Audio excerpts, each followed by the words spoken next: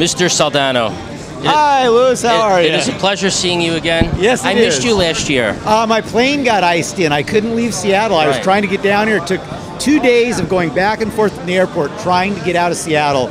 Didn't happen. Everything that happened to you last year almost happened to me in New Jersey because New Jersey's been in distress. Oh, really? Like 10 degree Oh, weather. that's right. And also, you had all that damage from the, That- the hurricanes and Mother stuff. Nature has not been kind. Not kind to New Jersey at all. Yeah, yeah. So um, uh, it's good to see you again. Good to see you too. We're at the Jet City booth, Winter NAMM 2013. Tell Yes, me about are. the Jettenuator. This is the Jettenuator. You know? Hold on. Let me come on this side. Oh, okay. This is our this is our new little load box that we've designed, and this is kind of my idea of what a power soak slash attenuator box should be. I wanted to build something that was really simple for the end user, yet had a lot of versatility. I could do many many things. So this little box here is basically it has an L pad so that you have infinite attenuation all the way from zero to full power um, in whatever jack you select, as well as having a low level line out, which was a circuit designed by Doug Roberts for a direct out here with an XLR. So this thing is foolproof to use. All you do is you look at what your amp is, what your the impedance of your amp is. You plug into the appropriate jack. So if your amp is a say an old Fender Twin, it's going to be four ohms. You plug in the four ohm jack.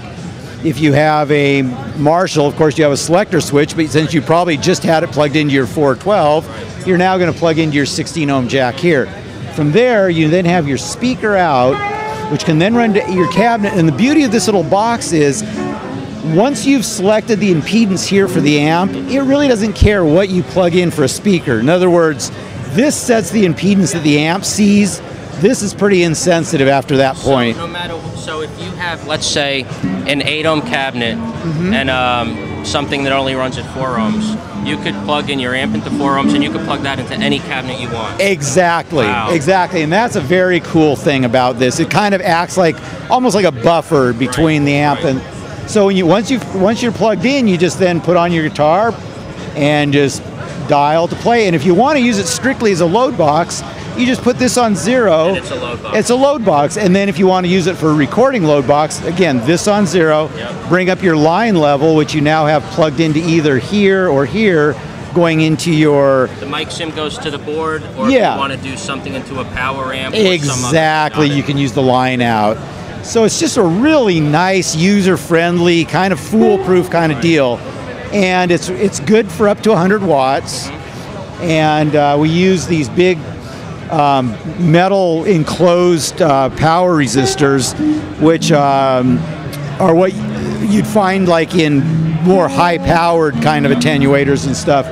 And uh, I gave it a good safety factor. So, like I say, 100 watts, pretty much all day long. And let's talk tech for a second. When you say 100 watts, you're talking your amp all the way cranked. Yep. Like if you're running an amp at five or six, that's not 100 watts of output power. Well, most, uh, to be honest, most amps are at full power at about five or six. Is that right? Yeah. Okay, okay. Yeah, like you know, like because usually beyond about five, you're just doing more and more saturation of the power section. I got it. So, like would say, a 100 watt Marshall, for example, like a JMP Marshall, Yeah. by the time it's on about four, it's pretty much full It's power. Okay, okay. Yeah.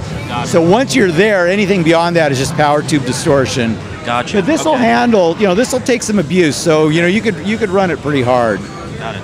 And uh, we were talking earlier, and I think it's worth pointing out that it doesn't matter 4, 8, 16 ohms, this one box could handle all. This one box Okay. does it all. That and that was something that was also important to me Yeah. because there are other attenuators on the market, but they're they're load specific. Very specific. And I wanted to build something where you bought it one time Right. and you could use it with your entire amp collection. Yep, yep.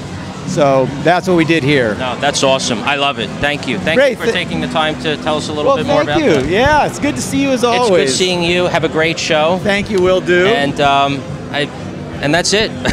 Mr. Right Mike on. Soldano, I'm speechless. so uh, Winter NAMM 2013, and uh, you got to see it here first. Later. Later. Thank you. That was awesome.